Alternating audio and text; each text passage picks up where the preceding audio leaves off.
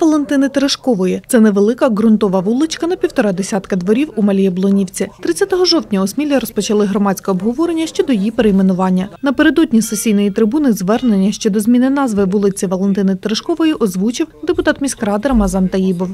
До нас поступило звернення депутатське від е, політичної сили команда Сергія Рудика «Час змін, підписане Таїбовим Рамазаном Курбановичем. І тут є представники цієї політичної сили про перейменування саме вулиці Терешкової, тому що вона теж е, дійсно визиває, і я згоден з тим, що дійсно її треба перейменувати. Міський голова видав розпорядження про проведення громадського обговорення. Е, Є е, пропозиції топонімічної комісії, так, яка пропрацювала всі вулиці нашого міста, і вам прозвучала пропозиція, яку пропонується Павла Чубинського. Да. А ви можете внести свої пропозиції, як ви бачите. Ви можете любу назву запропонувати. Є пропозиції топонімічної комісії, є ваші пропозиції. Вони всі будуть враховані. Переконати жителів вулиці у необхідності її перейменування приїхала цього дня і ціла когорта патріотично налаштованих смілян. Хочемо ми чи не хочемо, там, е, а вулиця все одно буде перейменована, тому що того вимагає закон. Пропозиція комісії на Павла Чубинського, це автор гімну е, України. А що зміниться, кажуть, та в Криму, на Донбасі, то я вам скажу. От я маю на це право, моральне дуже право. Якби ми це вчасно робили, то й війни не було б. Бо тому що вони бачать, а тут нашими названнями, а тут людський мір, а ця людина Терешкова принципово, так, яка різниця? Тепер для мене це є і велика різниця. Бо то ця людина, яка перла з двома руками кричала анексувати Крим, розв'язати війну з Україною, щоб наших хлопців вбивали, яких сьогодні, між, поміж іншим, сьогодні хоронять нашого атомця. От з цього треба починати, люди. Переконливо вас просимо, ну не впиратися проти перейменування. Ну дійсно, Терешкова фактично вона ворог України на сьогоднішній день. Ну, вибачте, так, так є. Вона за е, обнуління влади Путіна, який прислав до нас війська, вбиває наших братів і сестер.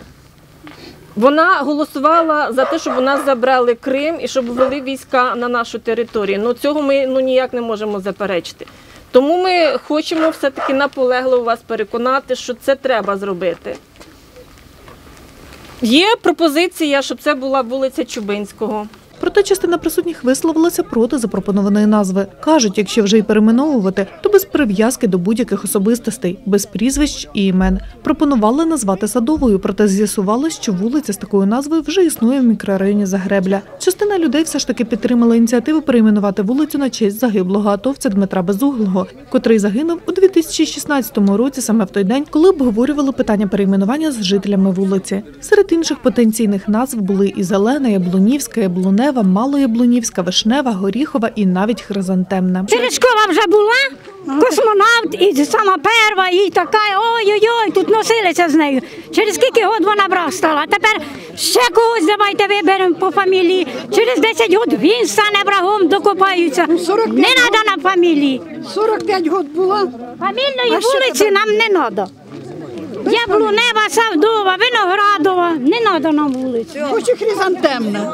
Все одно. Турбувало мешканців вулиці питання вартості заміни документів. Проте усі здогади і сумніви людей розвіяла начальник юридичного відділу міськвиконкому. Законодавство на сьогоднішній день не вимагає заміни документу е, правовстановлюючих у зв'язку з зміною назви вулиці. Так само і адміністративний збір не справляється за е, е, там е, місця проживання чи місця знаходження юридичної особи. Так що проблем ніяких не буде. Якщо проблема з отриманням рішення, ну на випадок позитивного вирішення міської ради цього питання, то рішення зможете без проблем отримати або в ЦНАПі, або ми розмножимо його через голову квартальних комітетів. Для вас кожному.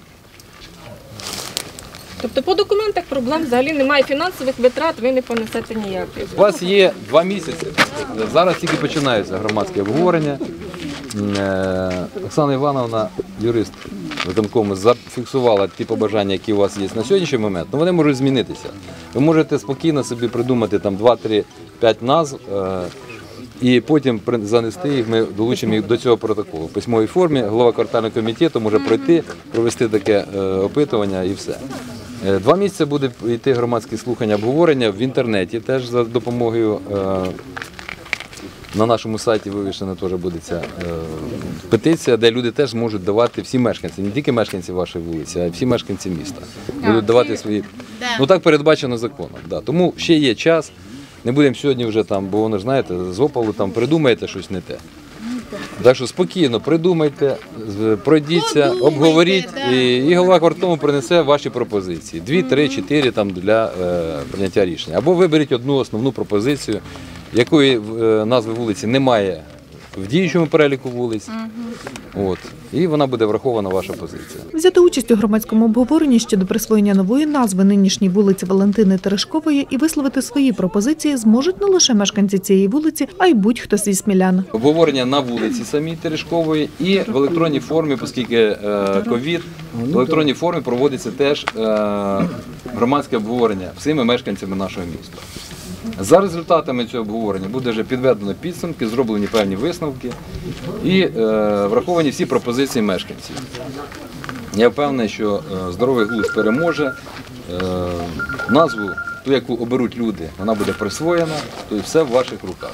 В ваших руках е, мешканців вулиці і мешканців міста, які теж захочуть прийняти участь в цьому обговоренні. Пропозиції чи зауваження можна буде подати у письмовій формі або надіслати електронною поштою до 30 грудня із зазначенням прізвища, імені по батькові та адреси особи, яка їх подає. Юридичні особи подають пропозиції із зазначенням їх найменування та місце знаходження. Анонімні пропозиції, а також подані у формі ненормативної лексики, не публікуватимуть та до результатів обговорення не включатимуть. Результати громадського обговорення обіцяють оприлюднити на офіційному вебсайті Смілянської міськради протягом 14 днів після закінчення строку подання пропозицій.